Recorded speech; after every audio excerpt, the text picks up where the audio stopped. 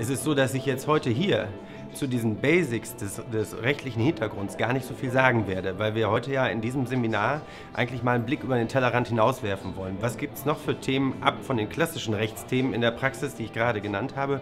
Zum Beispiel, wie, viel, wie verändert sich der Markt dadurch, dass wir Investoren im Gesundheitsmarkt haben werden, die jetzt auch in die Versorgung, in die ambulante Versorgung hineinkommen?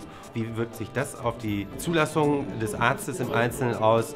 Ähm, was ergeben sich dadurch für Herausforderungen für ihn in der Zukunft? Sind das nur Risiken oder stecken da vielleicht auch Chancen drin? Das ist das, was äh, heute mein Thema sein wird. Weil in der Praxis ganz viele rechtliche Themen auftauchen, auch wenn man es gar nicht merkt. Das ist also das Arbeitsrecht, wenn es ums Personal geht. Das ist das Zulassungsrecht, wenn es darum geht, ob ich mich überhaupt niederlassen darf. Das können Rechtsstreitigkeiten mit Krankenversicherung sein, mit Patienten. Und in all diesen Fragen helfen wir unseren Mandanten, unseren Ärzten, damit sie äh, sich um das kümmern können, was eigentlich äh, ihnen wichtig ist, nämlich das Wohl der Patienten. Und wir sind eine äh, Hilfestellung im Hintergrund, die ihnen vielleicht die ein oder andere Sorge nehmen kann.